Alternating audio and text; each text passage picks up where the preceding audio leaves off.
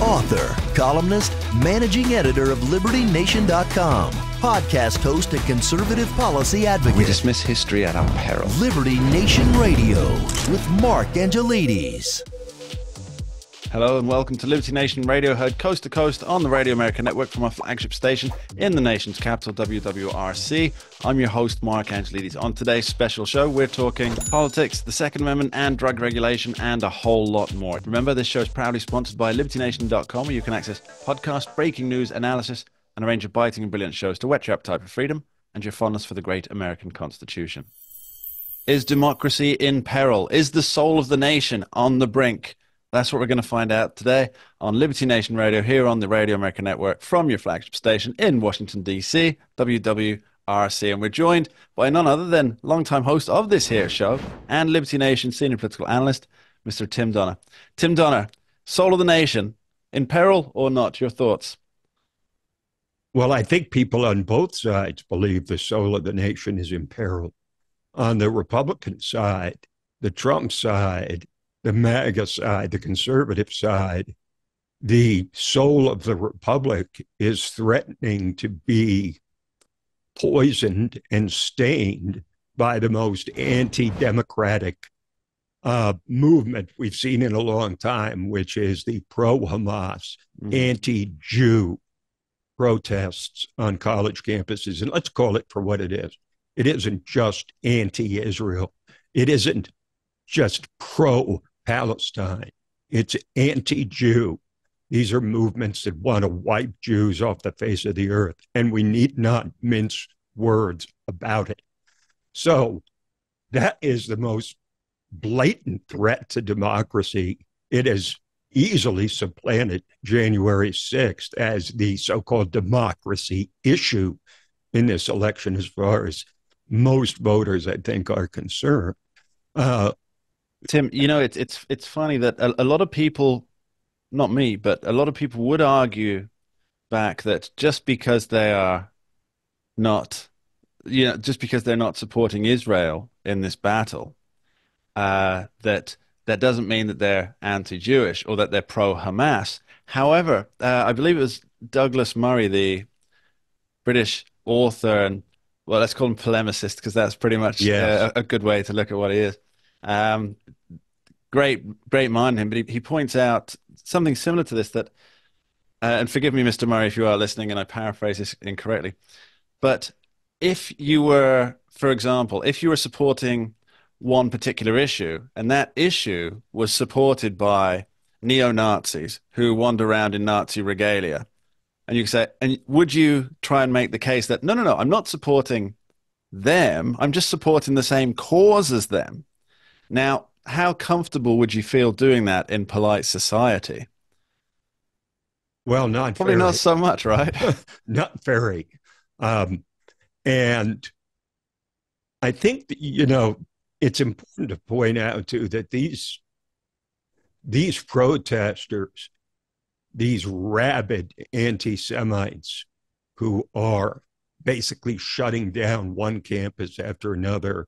Columbia has canceled its graduation. It's ruined its reputation, which it had taken really since 1968 to rebuild, and now they've thrown it all to the to the wind because of their refusal to stand up to these savages who are threatening Jewish students, doing encampments and a beautiful quad there, the whole thing.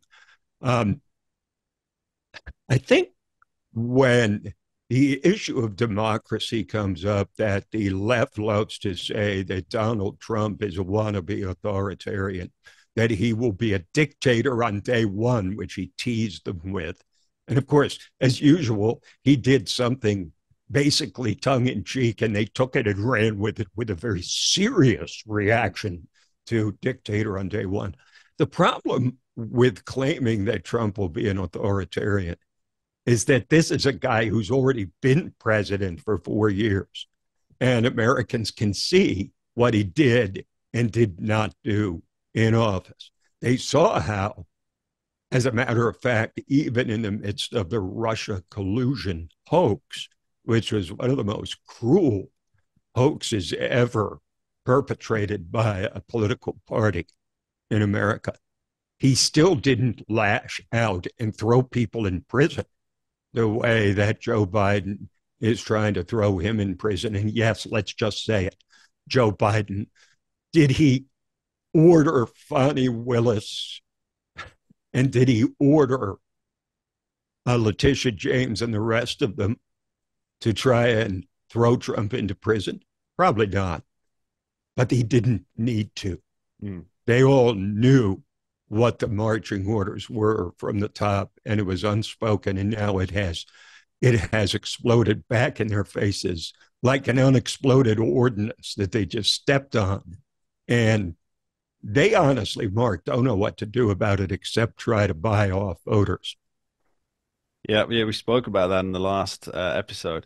Now, it's funny you say um, that they're worried about him being authoritarian. They are. That they that there's um, Robert De Niro, the actor. Uh, he was recently on. Uh, I think it was a it was some late night talk show talking about this guy's going to be a Mussolini, this guy's going to be a fascist, he's authoritarian. And uh, the whole world must have been sat there thinking, but we saw what Donald Trump did. And Donald Trump, if conservatives would have one complaint about Donald Trump, it's that Donald Trump, I think, kept getting rolled over by the courts. And every time he tried to do something, he would get shut down in the courts and therefore have to scrap it. That's not what an authoritarian does. An authoritarian steamrollers, steamrolls those courts. He doesn't basically back breach, down and look for another route. And and breaches the law of the land for his own personal purposes and to consolidate his own power.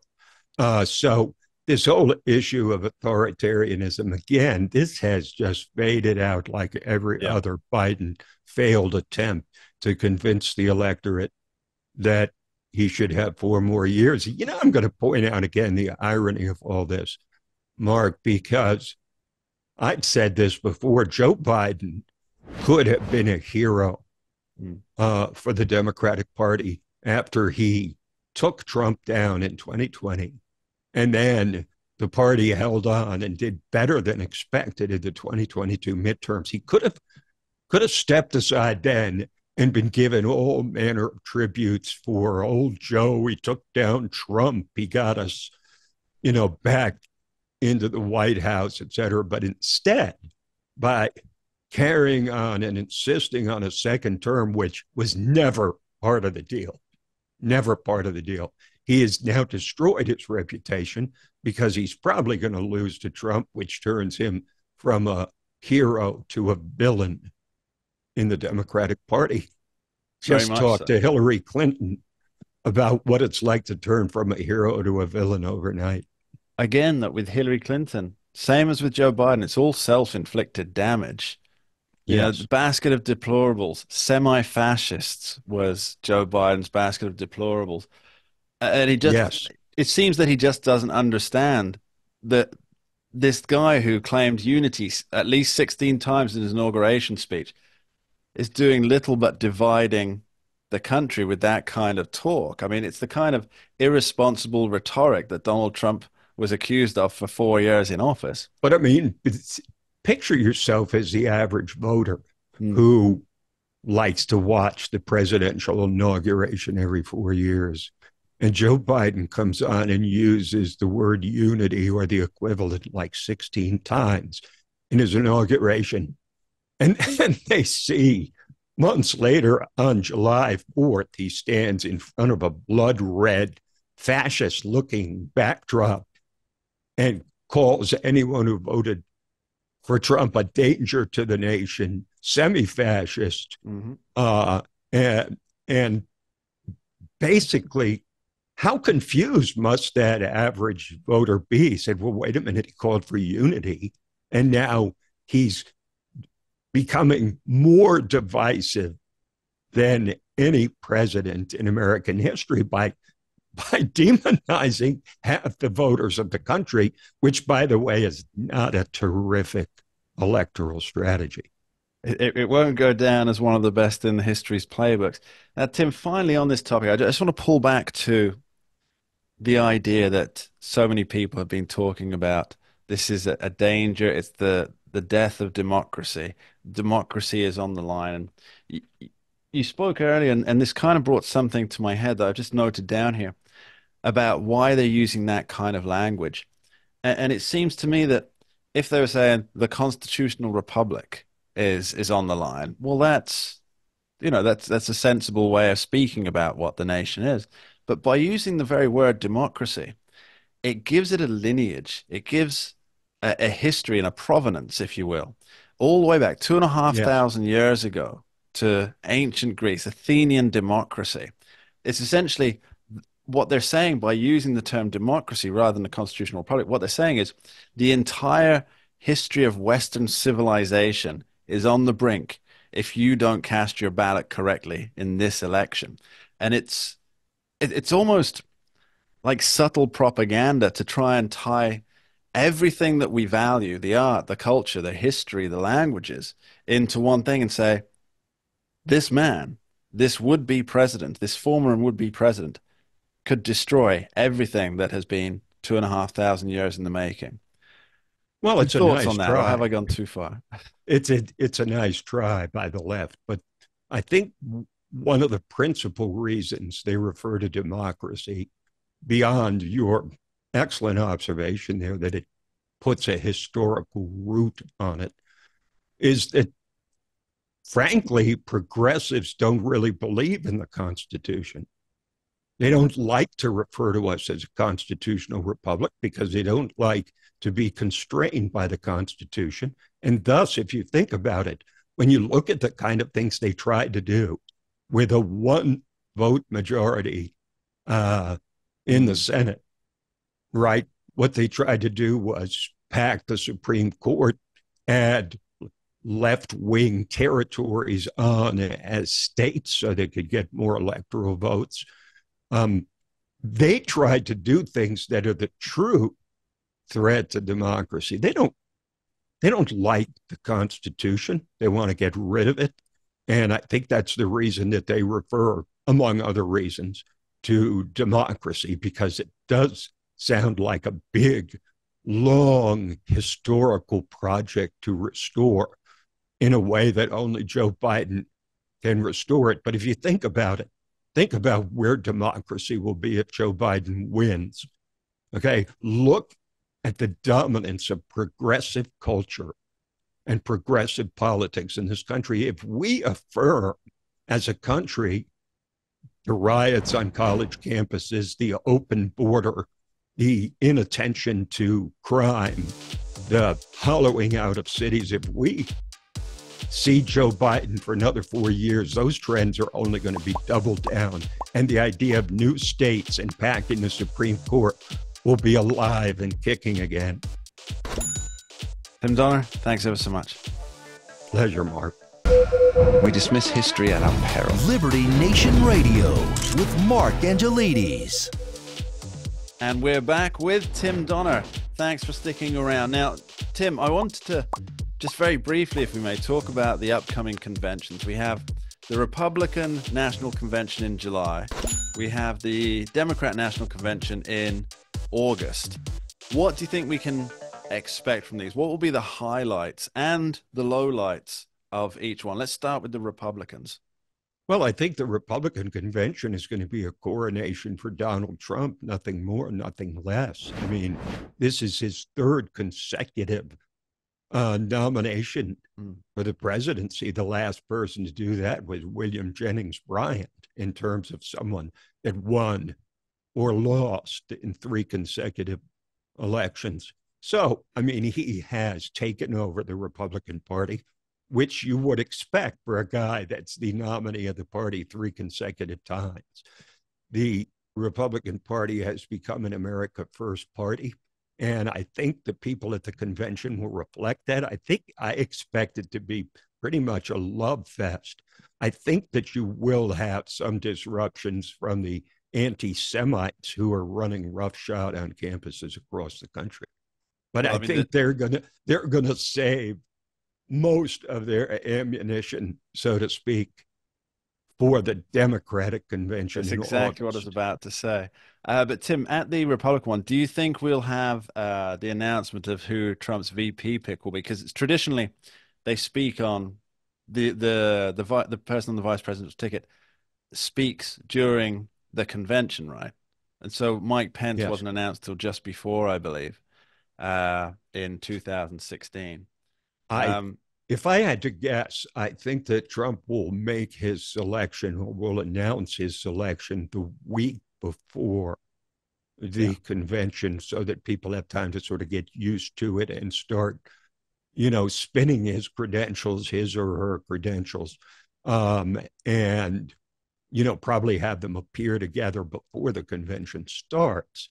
And then uh, the vice president will be the probably the most interesting speaker at the Republican convention because, in effect, this is the most critical decision going forward because whoever Trump picks is going to automatically be favored to win the nomination in 2028 since both Trump and Biden can only serve one more term what one more question on the Republicans there.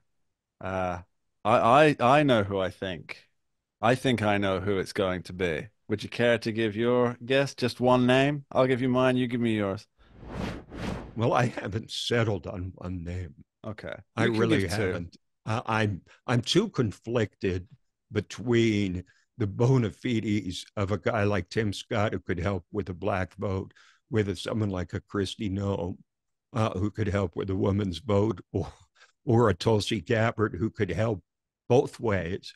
Um, it's, I think, you know, Tulsi Gabbard would be a really good pick outside the box, attractive, uh, very articulate, uh, reformed Democrat who became a Republican. Um, I'll just say I think that would be a good pick without having any knowledge of whether he's seriously considering that or not. I'm going to put my pick out there. And uh, if anybody agrees with me or disagrees with me, do get in touch with libertynation.com. But I'm going to put my cash on JD Vance. Mm-hmm. Let's talk about the Democrats. So the the convention's coming in August, and you think uh, that the anti-Semitic mob riots are saving their ammunition for that event? Well, let's put it this way: at a recent meeting of over 70 anti Jewish, anti Israeli groups that are probably central in organizing all of these protests across the campuses, funded in large part by George Soros, the Rockefeller Foundation, the Ford Foundation, supporting the organizations that are sponsoring all of this stuff.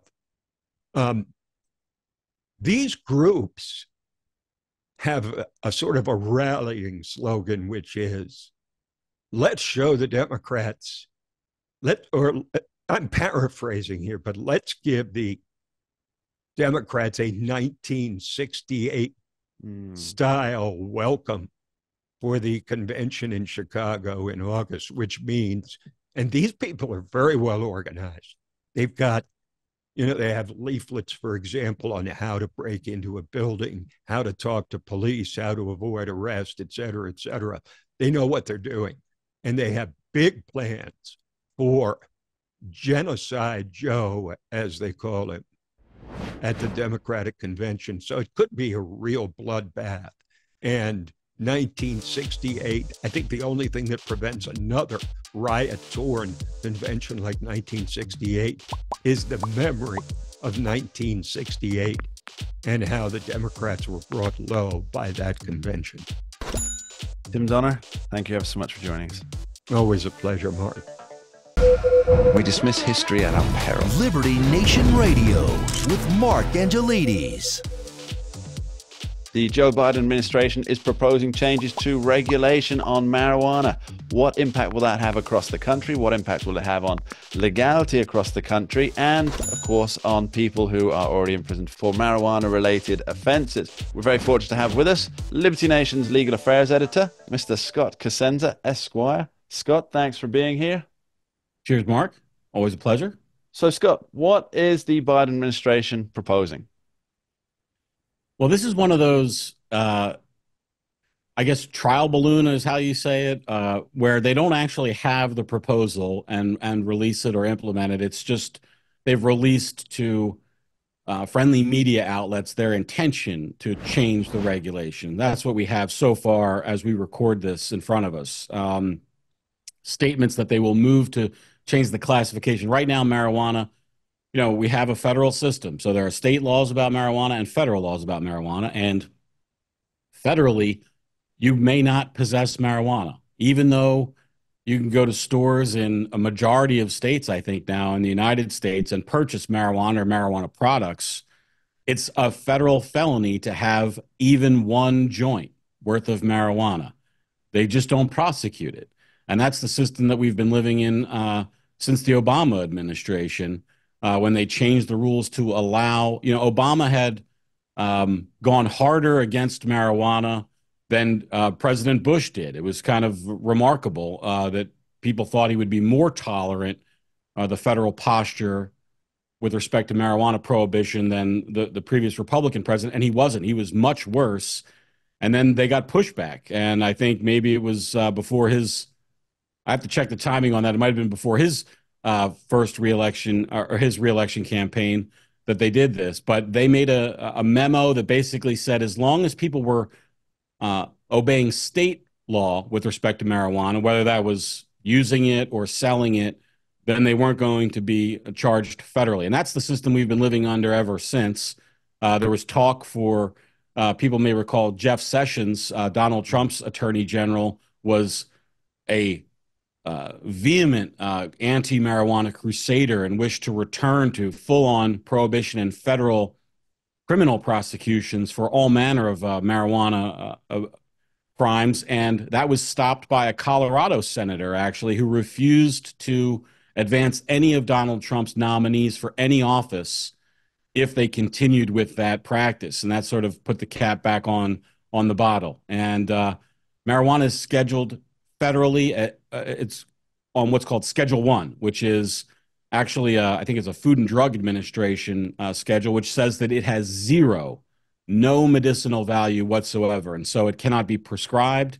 And then when you combine that with the federal criminal pro- prohibition, you know, basically there's no valid legal reason to ever have it. And the remarkable thing is, some drugs that are widely seen as much more abused and deleterious to people's health and society are on a lower schedule. So, cocaine, for instance, is not on Schedule One. There are medicinal uses for cocaine and it can be medically prescribed, but but not marijuana, even though we have a nation where millions of people take marijuana, not just for recreational or non-prescription purposes, but for medical purposes, whether it's CBD stuff or, you know, uh, as a appetite stimulant for those who are have wasting diseases and things. It's used medicinally all over all the time, right? But is forbidden from from doing so. So essentially it's a it's it's a federal law at present without teeth, federal regulation at present without teeth, without enforcement. And so, yes, if so, it's a federal regulation that the president can change at his will, basically. But you know, they go through a lot of talk. Yeah, I so I I don't mean to cut you off there. I just wanted to say for people who don't know, there's lots of talk about well, these, you know, we're reviewing the regulations, or, you know, the idea is that this is somehow arrived at by like officialdom or smart people and scientists and things like that. It's not. It's simply a political choice. They can choose to make it Schedule Three if they want, which would mean it would be widely available uh, via prescription, or keep it at Schedule One would to make it completely forbidden uh, from possession. So I just want to get clear. So, if Joe Biden and his administration determines that this has to be, well, this will be further deregulated at federal level. What that means is that the states that currently currently don't have essential legal pathways for marijuana, they would then obviously not be obligated to do it because you're not forced to do no, anything. It's a feature but, of our federal system. They wouldn't have to do anything. Okay, so but they could if they wanted to without having to go through uh, some kind of loopholes to comply with federal law in terms of, for example, in terms of banking no, and things they, like they don't. They well, okay, so that's the big benefit. But the banking thing would change, for instance. So right now, these a lot of these dispensaries are shut out of the banking system. Uh, they oftentimes can't take credit cards, they can't have bank accounts. Uh, you could make a case too that um, an administration that wanted to frustrate their uh, success could lean on banks that give like mortgages even to the properties that they occupy. Right, all these places don't own their own real estate. Uh, most retail stores rent, and that's true for most of these places. Well, they could go to banks and say, "Hey, you're a federally chartered bank. You can't have a tenant that is committing federal felonies literally from the moment they open until the moment they close." So the kind of normalizing or normalization of marijuana businesses will be or would be a big feature for and it wouldn't be total by the way. It wouldn't be like okay now we're completely prohibited and now we're okay because it it won't change the law mark. This is just a designation in the code of federal regulations which gives the executive the power to schedule different compounds. Uh, and schedule means place them on. Schedule one two three. Those are the the, the kind of main brackets. Maybe there's four as well, which I think is uh, over the counter OTC medication. So that's where the change will come. Okay. And will there be any impact on people who are federally incarcerated for drug crimes? I don't think so because at the time, you know, there's a very small set of people that are incarcerated on federal marijuana charges.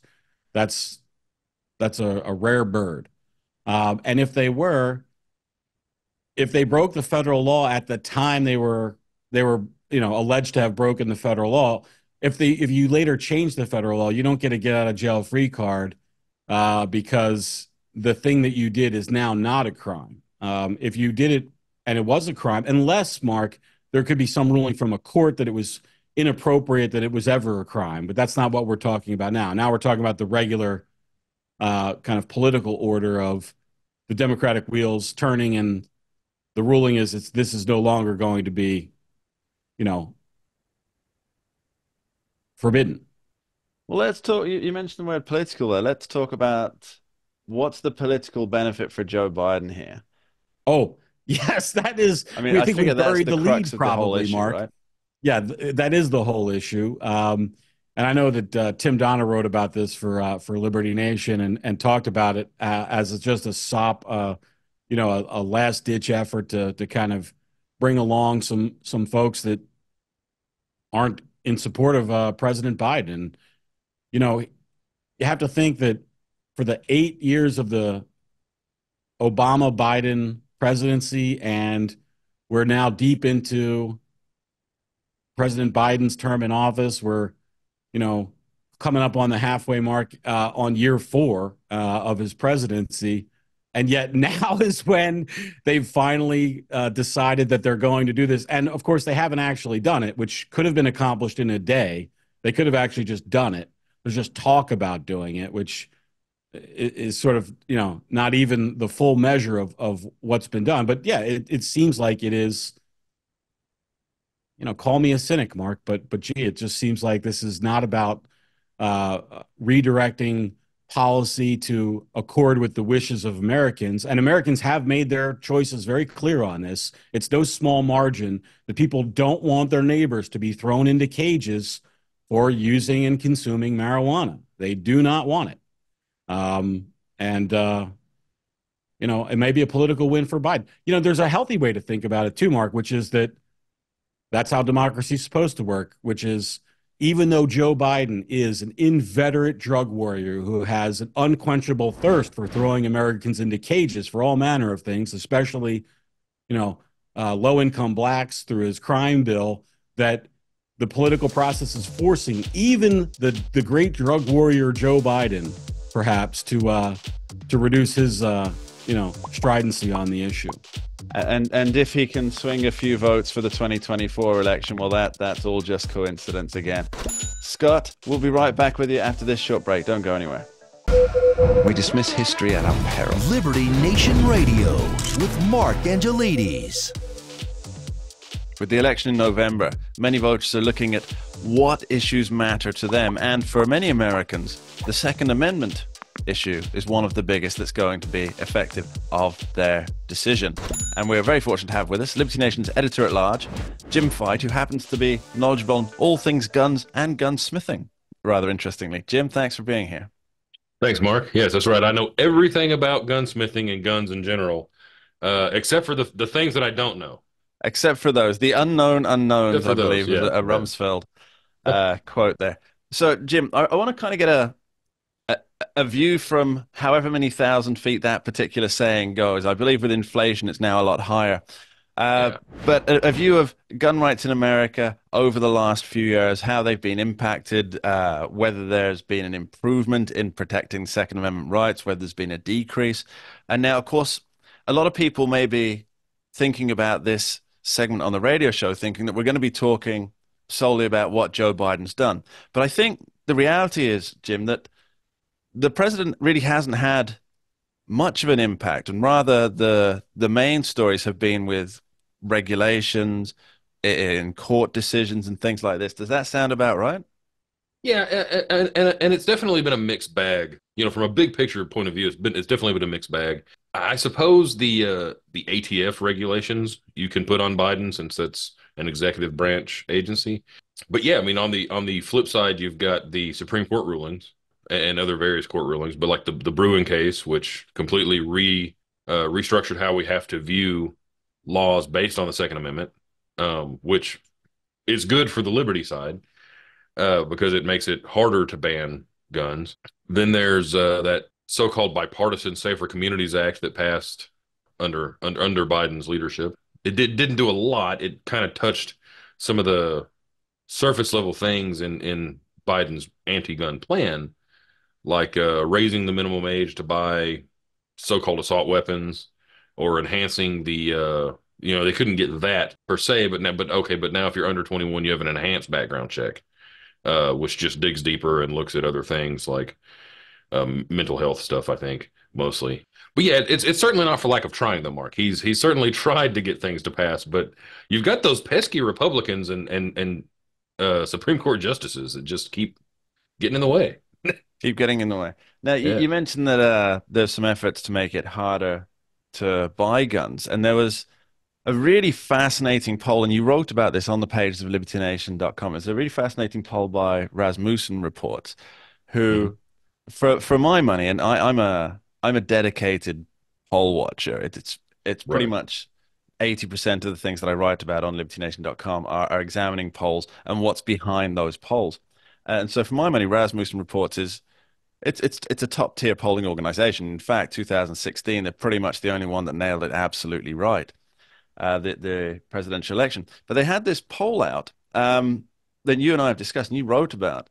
Uh, and there's almost a, a slight deficit in the questioning, but that's because of the nature of what it is. And that they, they surveyed uh, a big bunch of people about whether they thought it was uh, too easy or too hard to buy a gun. Now, you really deep dove into this, Jim. What did you find?